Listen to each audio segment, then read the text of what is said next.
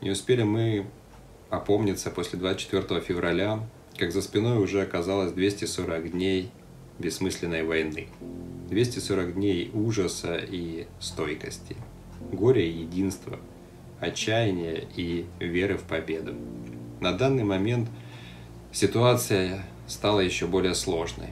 Это приводит к постоянным человеческим жертвам, отключению электричества, воды, газа, что в условиях приближающейся зимы может привести к катастрофическим последствиям. Для всех нас это суровое испытание на прочность духа, на смелость, на веру в добро и справедливость.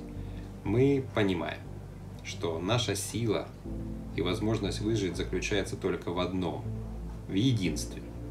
В единстве семьи, в единстве команды на работе, в единстве всего украинского народа и в единстве всего мира.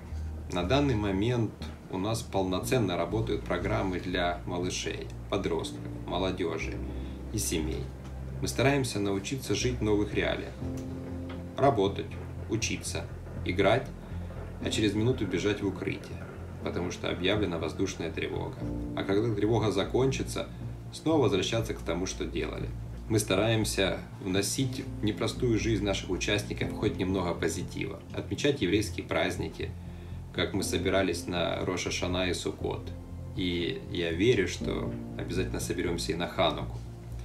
Параллельно мы продолжаем оказывать благотворительную помощь беженцам, переселенцам, людям, оказавшимся в тяжелых материальных ситуациях, заниматься волонтерством и помогать всем, кто нуждается сейчас в помощи и заботе.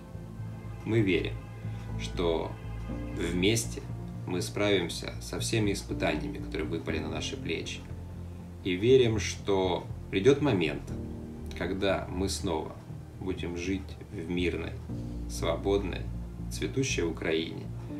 А еврейская община Днепра и еврейский культурный центр Соломонника станут еще более нужными и еще более процветающими. Спасибо вам за помощь и поддержку.